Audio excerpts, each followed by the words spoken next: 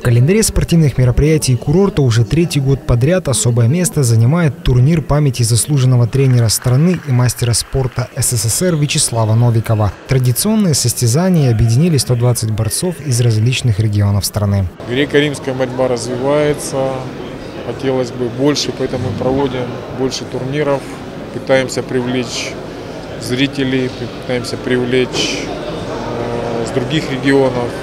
«Спартак» делает все возможное для развития борьбы в городе Анапа.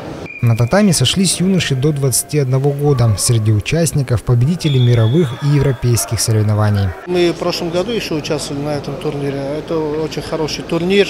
Это для молодежи, для ребят э, этого возраста очень э, полезно. Поэтому хочется сказать спасибо организаторам, что могли еще раз организовать этот турнир, пригласить нас.